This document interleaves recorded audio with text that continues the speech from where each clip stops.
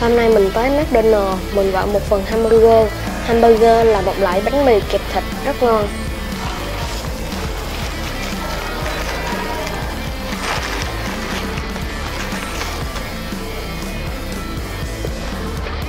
Nhắc đến hamburger thì các bạn sẽ biết đến một địa danh rất nổi tiếng, đó là Hamburger Hill.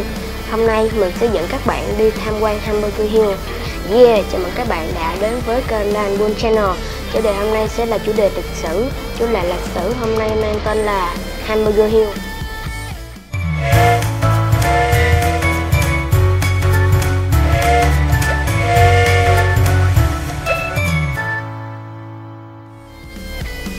Theo quốc lộ 49 và theo đường Hồ Chí Minh, mình đã tới A Lưới. A Lưới cách Huế 60 cây số. A Lưới là huyện miền núi thuộc tỉnh Thừa Thiên Huế. Địa hình A Lưới bao gồm một thung lũng ở độ cao 600m, kéo dài 40 km và trải rộng trung bình 5 km.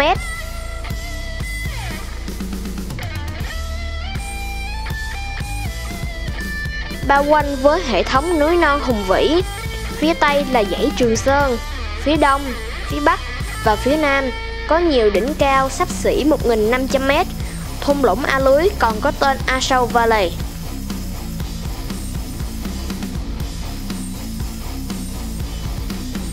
Đồi A Bia tại xã Hồng Bắc với đỉnh cao 937m, cách biên giới với Lào khoảng 2 km và cách trung tâm thị trấn A Lưới khoảng 8 km là điểm cao chiến lược trên đường Hồ Chí Minh. Đồi A Bia là một phần mục tiêu trong chiến dịch Apache Snow tại thung lũng A Sâu.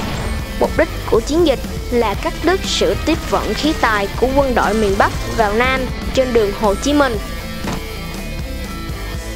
Theo người Paco bản địa, đảo Mabia có nghĩa là đỉnh núi với nhiều muôn thú ẩn mình.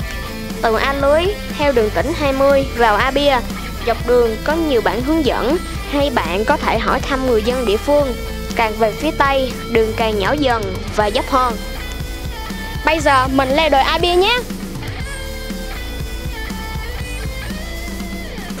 Đầu thịt băm hay Hamburger Hill là nickname được binh lính Mỹ gọi cao điểm 937 như muốn nói lên sự đẫm máu của trận đánh diễn ra trong 10 ngày, từ ngày 10 đến ngày 20 tháng 5 năm 1969. Xác người bị băm nát trong bùn nhão được tạo nên sau các đợt mưa bom, đạn pháo và những trận mưa rào dữ dội. Việc hỗ trợ hỏa lực của quân đội Mỹ bị hạn chế không chỉ do địa hình hiểm trở, công sự đối phương vững chắc mà còn hầu hết các cuộc giao tranh diễn ra với vũ khí nhỏ được tiến hành ở cự đi gần.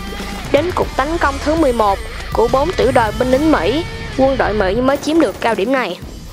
Điểm dừng đầu tiên là phòng trưng bày di tích chiến tranh. Đây là một căn nhà khang trang như một bảo tàng. Mình đã đến nhà trưng bày chứng tích chiến tranh lịch sử đồi Abia nhưng rất tiếc nó đã đóng cửa.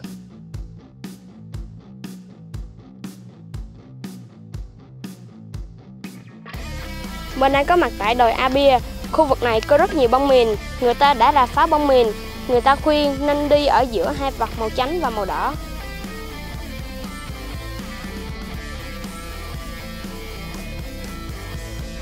Ngày nay, mọi người có thể chinh phục đồi băm qua 853 bậc thang với chiều dài 1.567m để lên đến đỉnh. Có khi qua bậc thang dốc với nhiều chỗ bông tróc có khi qua đoạn đường đất khá bằng phẳng, đường đi rợp bóng mát dưới tán rừng, văng vẳng tiếng con trùng đã rít khắp nơi.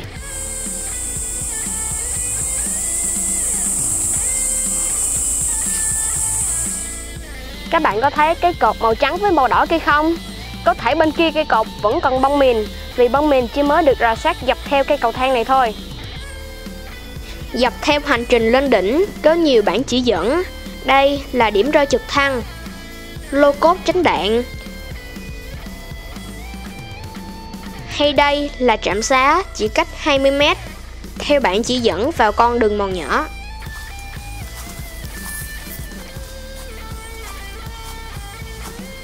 Đi quá 20m, gần như không thấy di tích gì của trạm xá, sau bạn chỉ dẫn chỉ toàn rừng và rừng.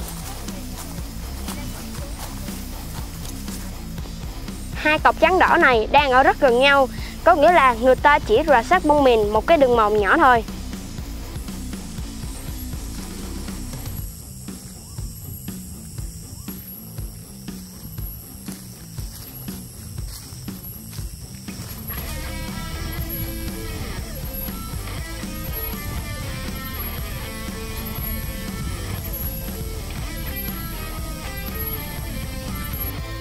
Mình đã đến di tích chiến thắng sân bay đồi A Bia Còn một quãng nữa mới lên đỉnh 937 Nhưng vì mình không có thời gian nên mình phải đi xuống.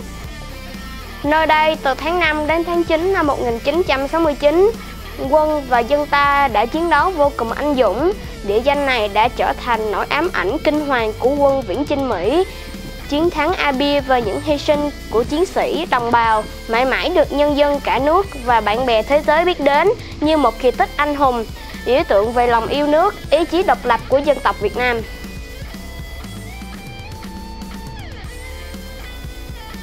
Đồi A Bia trở thành một địa điểm du lịch tìm hiểu về lịch sử chiến tranh Việt Nam.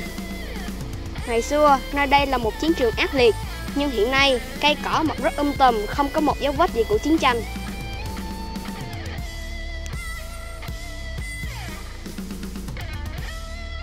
Ngoài di tích chiến tranh đồi A Bia, bạn có thể thăm rừng, suối và bản làng người Ba Cô.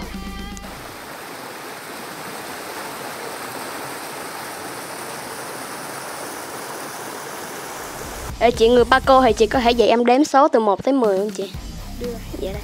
Số 1 chị.